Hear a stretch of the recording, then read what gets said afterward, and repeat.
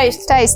Dzisiaj znajdujemy się na naszej wystawie i opowiemy Wam kilka ciekawostek związanych z żywnością. Może na dobry początek weźmiemy na warsztat taką oto zwykłą papryczkę. To jest papryczka chili, więc jest trochę ostra i za ostrość papryczek odpowiada taki związek, który nazywamy kapsaicyną. Nie jest to co prawda typowy alkaloid, ale do alkaloidów jest zaliczany. I teraz, smak ostry nie jest tak naprawdę smakiem to jest odczucie bólowe, bo kapsaicyna wiąże się z receptorami bólu, które nazywamy nocyceptorami i właśnie to powoduje ostrość. Ostrość papryczek mierzymy w tak zwanej e, skali Scoville'a i taki typowy sos tabasco ma od 2,5 tysiąca do 5 tysięcy tej skali, natomiast czysta kapsaicyna to aż 16 milionów w tej skali. Żeby potrawa była pikantna, potrzebujemy 1-2 mg czystej kapsaicyny na kilogram produktu, więc jak widzimy niewiele, a już jesteśmy w stanie wyczuć, że potrawa jest pikantna. E, I teraz, co zrobimy po zjedzeniu dużej ilości papryczki chili? Piecze nas boli, pocimy się, ponieważ kapsaicyna również oddziałuje na to, jak odczuwamy temperaturę i zaczynamy się intensywnie pocić.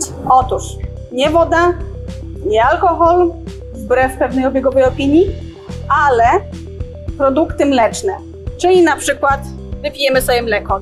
Kapsaicyna jest związkiem rozpuszczalnym w tłuszczach, więc jeżeli popijemy po zjedzeniu papryczki mlekiem, to tłuszcz zawarty w mleku, on jest tak fajnie zemulgowany, rozpuści nam kapsaicynę i usunie ją z jamy ustnej.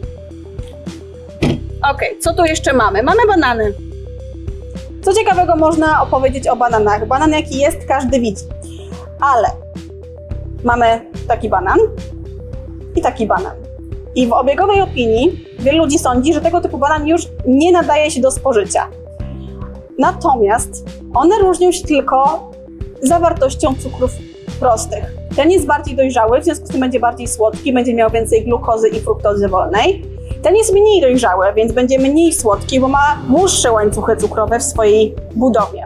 I tego typu banany, zgodnie z duchem Zero Waste, żeby nie marnować żywności, świetnie będą nadawały się na przykład do stworzenia owocowych koktajli, na przykład do upieczenia chlebka bananowego, albo z racji tego, że idzie lato i będzie coraz cieplej, możemy z nich stworzyć y, świetne domowe lody. Takiego banana kroimy w plasterki, mrozimy, a potem blendujemy albo z sezonowymi owocami, albo z masą orzechową i odrobiną soli. Mamy wtedy świetne lody o smaku słonego karmelu. Ja zaś przyniosłam ziemniaki, ale ziemniaki, które są zabarwione na zielono. U mnie od pokoleń, czyli od babci po mamę, zawsze mówiono, że zielonych ziemniaków się nie je i niestety takie ziemniaki były wyrzucane. Jednak nikt nie umiał mi odpowiedzieć na pytanie, dlaczego. Również wyrzucano ziemniaki, które miały bardzo dużo kiełków. Teraz już wiem dlaczego. W takich ziemniakach znajduje się solanina. Jest to związek chemiczny, który występuje w niedojrzałych e, warzywach, np. papryce czy pomidorach. Niestety jest to związek, który wykazuje silne właściwości trujące oraz niekorzystnie wpływają na nasz organizm.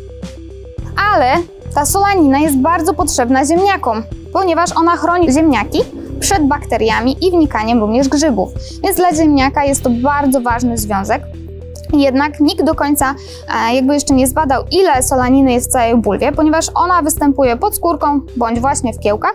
Niekiedy ziemniaki są większej objętości zielone, aczkolwiek nie zaleca się jedzenia e, ziemniaka, gdzie już występuje kolor zielony. E, solanina jest to związek chemiczny trujący dla naszego organizmu. Objawami zatrucia solaniną to jest jak objawy zatrucia pokarmowego. Biegunka, nudności, wymioty, bóle głowy, bóle brzucha. E, jedynym wyjątkiem jest to, że takie objawy występują już po około 4 godzinach i mogą trwać nawet do 24 godzin, niekiedy się przedłużają. Duża ilość solaniny w naszym organizmie może również prowadzić do tak zwanych stanów depresyjnych. Jest to niekorzystne dla nas, dlatego tak ważne jest, żeby pilnować się i unikać e, zielonych ziemniaków. Teraz już wiem, dlaczego moja babcia i mama wyrzucały zielone ziemniaki, ale musiałam chwilę poczekać, żeby e, otrzymać odpowiedź na to pytanie. Na moim talerzu mam jeszcze natkę pietruszki. Jest to witaminowa bomba. W natce pietruszki, jak i również korzeniu, ale w chwili obecnej skupimy się na natce, jest bardzo dużo witamin. Witamin A, C, czy nawet z grupy B.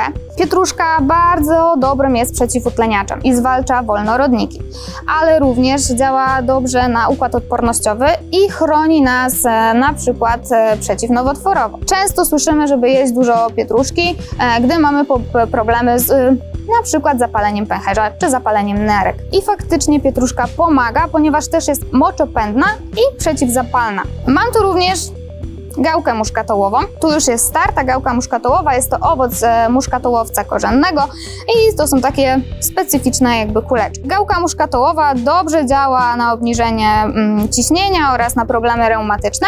Mam nadzieję, że uzyskaliście dzisiaj kilka ciekawych informacji z naszego filmiku. Po więcej zapraszamy na naszą stronę. Cześć!